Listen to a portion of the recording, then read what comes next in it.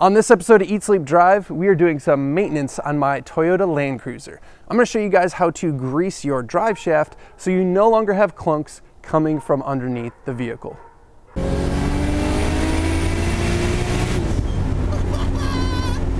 What's going on guys? Welcome to another episode of Eat Sleep Drive and it's time to do some maintenance on my Toyota Land Cruiser. I have a little bit of clunking uh, on downshifts or when I change from neutral to drive and everything I've read online is it sounds like you need to grease your drive shaft and this is something that's just a maintenance item you should really be doing every time you change the oil. So I'm changing my oil and I'm going to grease the drive shaft now. But I'm not to do it in the snow because it's really crappy outside. Let's pull it in the garage and then we'll get to it.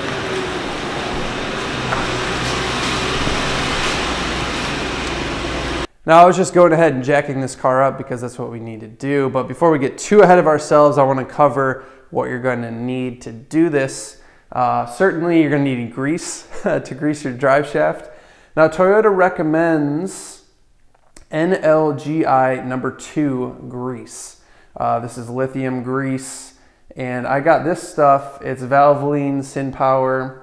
It's got moly in it, so it's supposed to be better for impact type stuff, which is a, this is a good application. So just buy yourself some quality grease. I just picked this up at the local auto parts store. And then you're obviously gonna need a grease gun.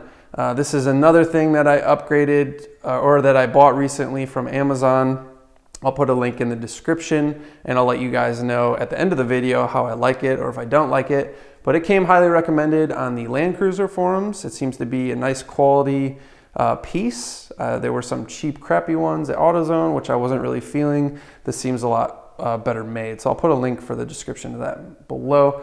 That's pretty much all you need though, outside of a jack and jack stands to be able to lift the car. I recently did a video reviewing this jack and I'm really impressed with it for the money. My old um, aluminum racing jack that I use for my race cars and stuff isn't going to cut it on the Land Cruiser. So when I bought the Land Cruiser, I had to buy a new jack. So anyway, let's finish getting this car all jacked up and on jack stands, and then I'll show you guys how to grease the drive shaft. So go ahead and jack the car up. I put two jack stands under the rear axle and then two right behind the front wheels on the frame rails. Now before we can get to where we can grease the drive shaft, there is this panel in the way here and there are six 12 millimeter bolts that need to be removed. So I'm just going to go ahead and remove these. It turns out there were actually eight of them, but no big deal. Get this panel out of the way. Part of the reason that we jack the car up is because we need to put it in neutral. So I'm just going to put the ignition to on put it in neutral. And then also we need to make sure we're in neutral on the transfer case here, which is in the middle. So we do that so we can rotate the drive shaft to get to the fittings that we need to get to. So let me show you guys the fittings that we're gonna be greasing today. If you look all the way up here, you can see that little grease fitting, it's a Zerk fitting, and um, it's kind of in the wrong position, right? Well, that's why we put the transmission into neutral, so we can easily rotate the shaft. See that? Now, if my camera work is decent, you might be able to see the two. There's one fitting here, and then there's one deep in this yoke. So there's actually six different places that we're gonna be applying grease. Um, four uh, two on each shaft. There's a front drive shaft and a rear drive shaft. Of uh, there's one on the yoke on both ends. Okay, and then there is this slip joint right here, which you can see uh, moves fore and aft, and that is greased right here. So while we're down here, I'm just going to clean these up a little bit with a uh, toothbrush and just try and get some of the mud and dirt off of them so we don't uh, cram that in with all the grease. Now on to loading the grease into the grease gun. The first thing you have to do is pull this plunger back and then you see how there's this little tab here? I just moved it to the side. This will lock into place and then you can remove the main cartridge or the main tube I should say from the head. Put that aside. And this is where we're going to be putting the grease tube pop the cap off. And then this, the, the end that you popped off goes actually down. And then we pull this tab off.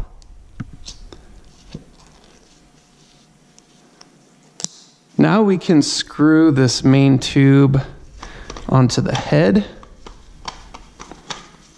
But do not, according to the instructions, don't tighten this fully because we want to compress some air out of here. So with that partially screwed on, not fully seated, we're going to release this catch and it should just hold as is.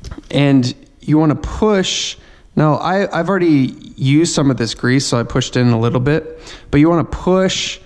I'm like pushing this way to try and get as much air out as possible.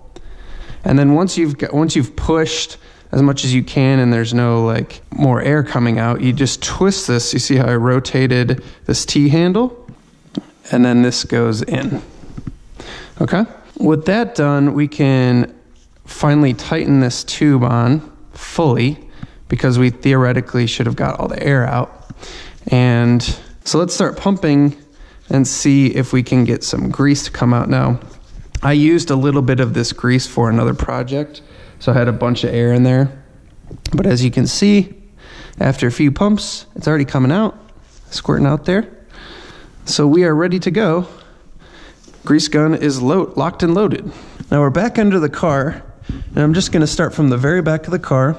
This is the first spider universal joint, and you just push this um, fitting on, okay?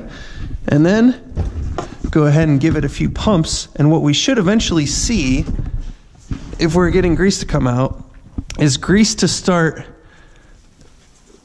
oozing out of that joint. I didn't fully have it seated on there, so it's just oozing out at the Zerk fitting. There we go. See that? All that crap coming out. Going to give it a couple pumps.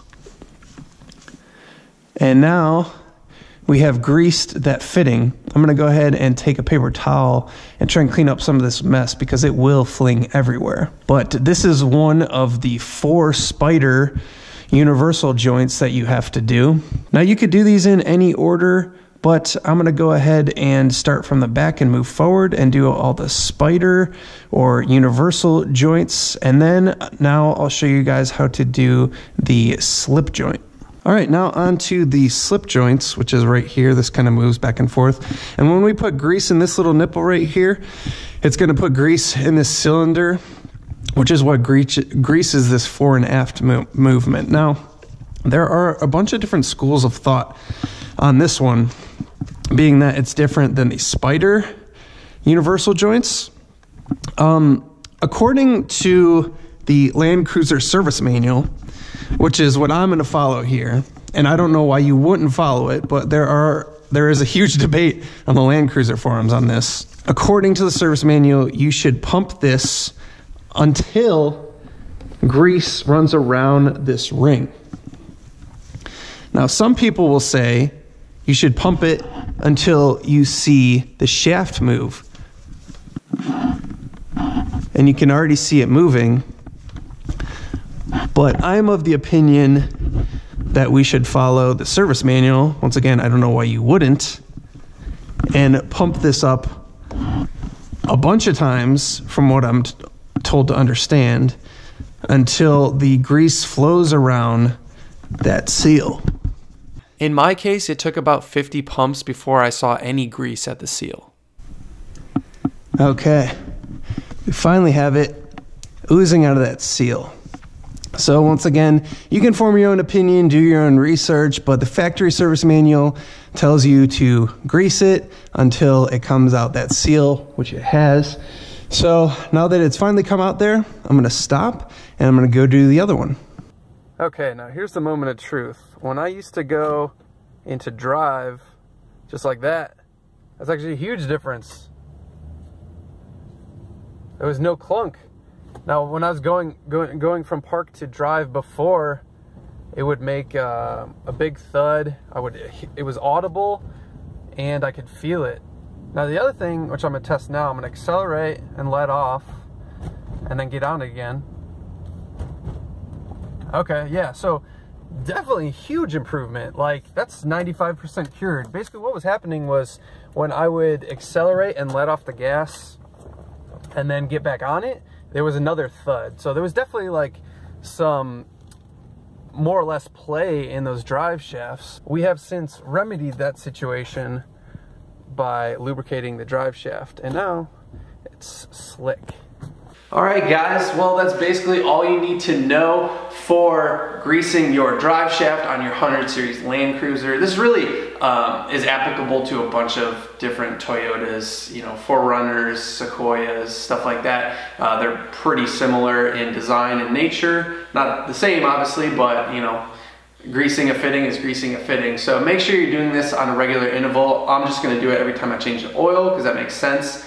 Although if I keep doing a lot of water crossings uh, like I did in the fall here, maybe I should do this more often because I think the uh, water obviously washes away the grease or can wash away the grease. So um, let me know what you guys think in the comments below. I'd love to hear what you have to say and also give me suggestions for what you would like to see me do uh, future video wise with my Land Cruiser. I always appreciate you guys watching and uh, really value your feedback. If you want to see what I'm up to in between episodes, you can check me out on Instagram at Eat Sleep Drive TV. Otherwise, I look forward to seeing you on the next episode. We'll see you next time, guys.